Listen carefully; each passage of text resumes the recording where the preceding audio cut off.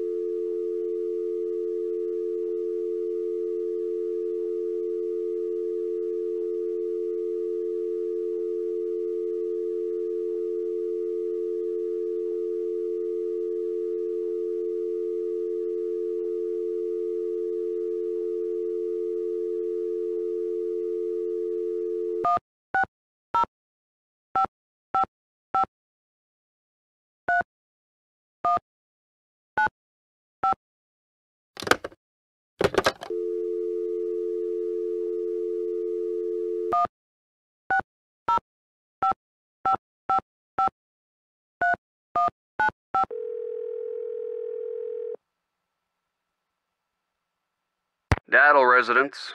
Hi, may I speak to Henry Daddle, please? Speaking. Mr. Daddle, my name is Nancy Drew. This is a long shot, but I'm calling regarding a Maya artifact that was bought at auction in 1898 by one Henry Albert Daddle. Does that ring any bells? Sure. Henry Albert Daddle Sr. was my great grandfather. You're talking about the jade carving, right? Yes, exactly. Wow, I can't believe my luck. Well, it's a lucky life if you ask me. So, what can I do for you?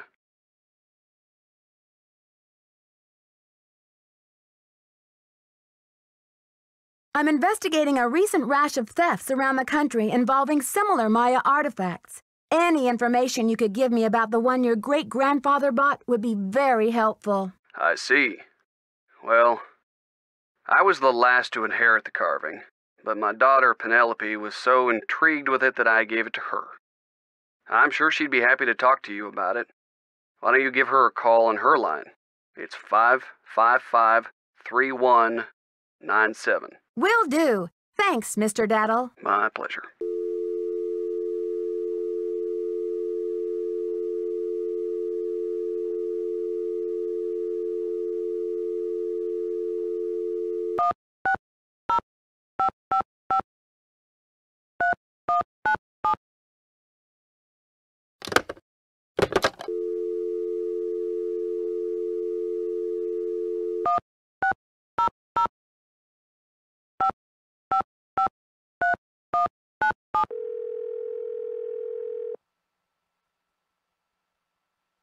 We're sorry. Your call cannot be completed as dialed.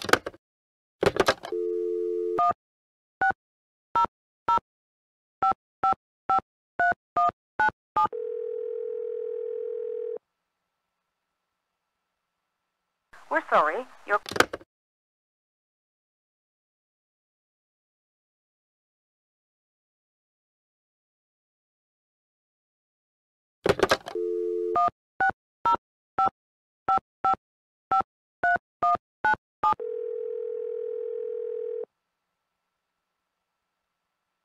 Hello? Hi, is this Penelope? Not even. Oh, is this 605 555 3197? Yeah, but no one calls me Penelope anymore. Except my parents, that is. To my friends, the art world, and anyone else who made it out of the 20th century, I'm Poppy. The art world? Wait, you're not Poppy Dada, are you? Ta-da! Ping ping! You win! Who's this? My name's Nancy Drew. I'm a detective. A detective? No way! So do you get to wear a sassy tweed hat and pick hairs off dead bodies and gross, creepy stuff like that? I don't run into too many dead bodies, luckily, but there's plenty of other creepy stuff. So, where'd you get my name? Don't tell me I'm like wanted by the FBI or something. That would be too scandalous.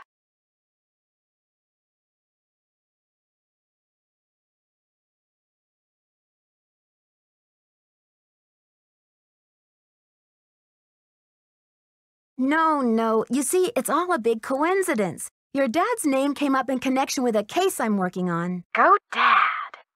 Don't tell me he's wanted by the FBI. I'll be so jealous. Sorry, Poppy, there's no FBI in on this case, and your dad's not wanted. Okay, what then? Someone is stealing Maya antiquities, jade carvings to be exact, and leaving this scary red handprint at the scene of every crime. Ghastly. So, what's with the red hand? It's printed with this stuff called cinnabar. Nobody seems to know what it means. All I know is the more I investigate, the more complicated it gets. Drama. So, where do the daddles come in? I got a tip that your great great grandfather bought a jade carving much like the ones that are being stolen. I'm hoping to take a look at it. You mean that ancient green rock with the weird symbol on it? I slapped some shoe polish on it and stuck it in one of my paintings. You're kidding. That's a one of a kind Maya artifact, a piece of history. It's hundreds of years old. It's worth a lot of money. That's the whole point. Have you heard the saying that a work of art is never finished, just abandoned? Well, I'm taking that idea to the limit by making art that will keep changing as different people encounter, perceive, and interact with it. I'm tired of artwork that says, don't touch. I'm all about letting go, about sending my work into the world and seeing how it continues to become. Don't you see? It's an organic process. I mean, how can people really relate to art if it doesn't come to life and and, and grow and die just like they do? That carving is part of something bigger now. It seems awfully reckless to me, not to mention the wrench it throws into my investigation. Oh, Nancy, don't be such a prude. Taylor's probably still got that artwork. At least, I don't think he sold it yet. Why don't you ask him? Tell him you want to see the piece called Deadly Midnight Snack. It's the one with the rubber shark. The one with the rubber shark. Yes, I've seen it, but I didn't notice any jade carving. Well, take a closer look there, sweets. It's in there. If you really need the carving to crack this case, why don't you just go ahead and take it? What? Poppy, you can't be serious. Sure, why not? After all, this is a chance to enact exactly what I've been talking about the organic process, inviting my viewers to interact with my work. The deal is, you can take the carving, but you have to put something in its place. Something in its place? Like what? An old shoe? A subway token? A movie stub? No, it should be something more organic. Stay with the title, Deadly Midnight Snack. And don't be afraid to go way out. As an artist, I can tell you that inspiration bites in the most mysterious ways. Okay, Poppy, if you say so. Right on. But let's keep Taylor out of this. He'd probably blow a gasket if he saw you tampering with the merchandise. That's all art is to him, you know. Merchandise. I'll make sure he doesn't detect a thing. Good luck, Nancy. Thanks, Poppy. Bye.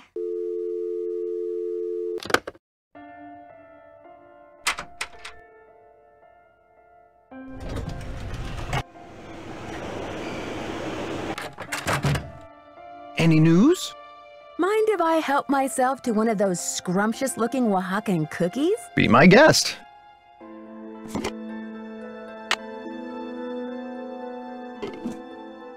May I take a closer look at that wacky Dada painting? Be my guest. I just had a call from Poppy this morning. She says she's in a really creative period right now. I said, please, sweetie, if you get any more creative, they're going to lock you up. uh, pardon me a moment, Nancy. I'll be right back. I hope.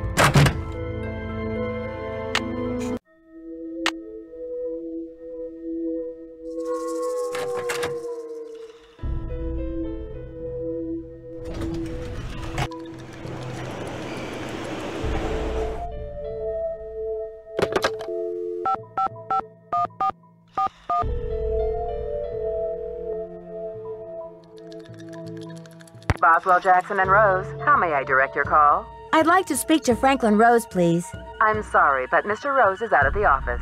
Would you like to try back later? Sure. Thank you for calling Boswell Jackson and Rose.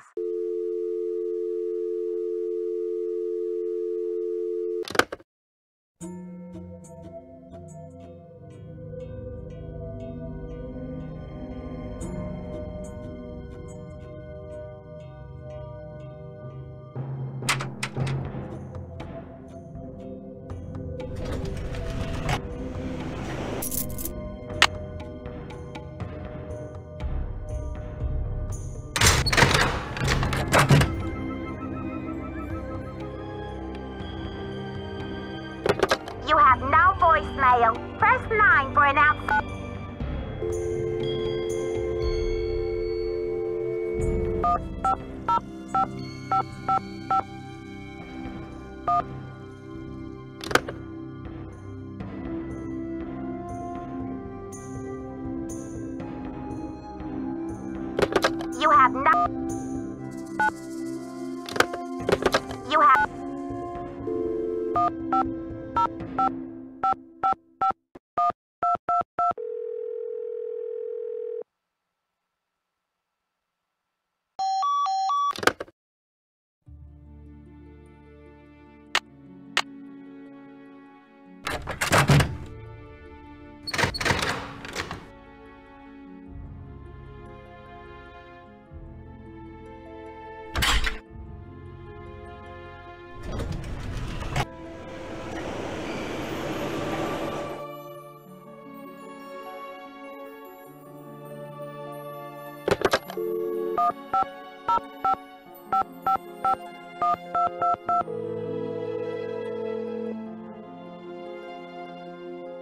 Chaco Canyon Cultural Center. Hi, this is Nancy Drew calling. Hi, Nancy. It's Sheila. What can I do for you? I've just got to get my hands on a replica of that jade carving you lost. Do you have any ideas? Not off the top of my head, but maybe one of my staff will have a bright idea. I need some time to ask around. Can you call back later? Sure thing. Feel free to call if you have any more questions.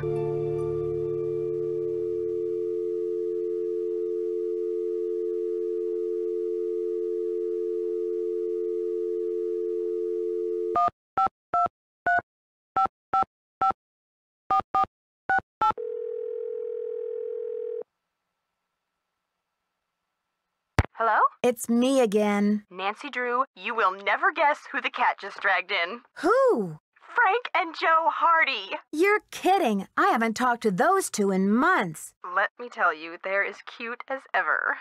George and I were just telling them about your latest case, and.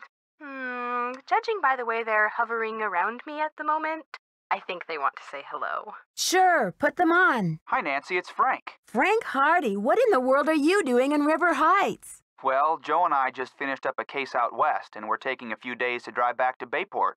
So we stopped in River Heights to say hello to our favorite girls. Well, that's awfully sweet of you. We should have known you'd be out there chasing trouble. Joe, is that you? The one and only.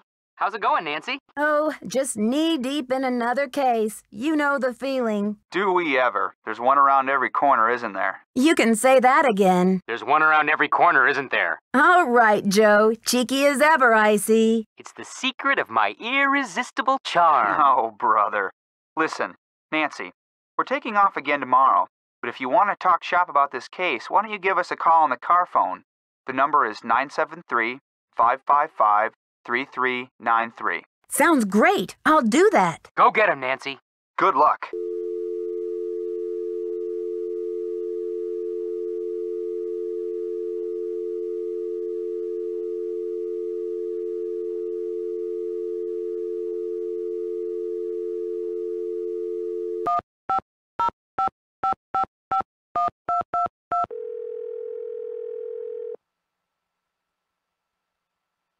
Chaco Canyon Cultural Center. Hi, this is Nancy Drew calling. Hi, Nancy. It's Sheila. Well, we racked our brains. Finally, one of my staff came up with the original box that the carving was packed in. The piece was encased in a tight foam cast to prevent damage during shipping. I'm not sure how much good it'll do you, but I can send it to you if you like.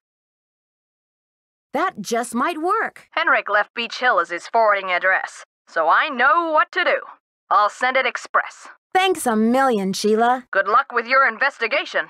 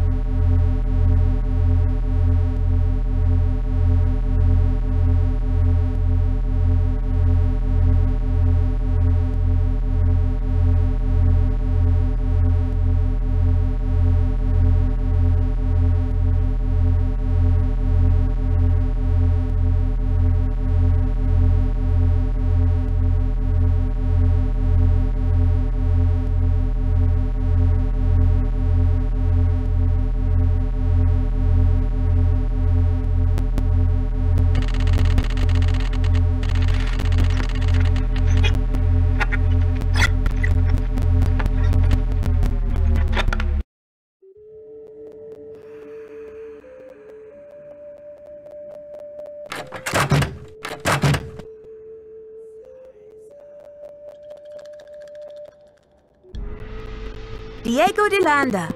I wonder if that's one of the keys.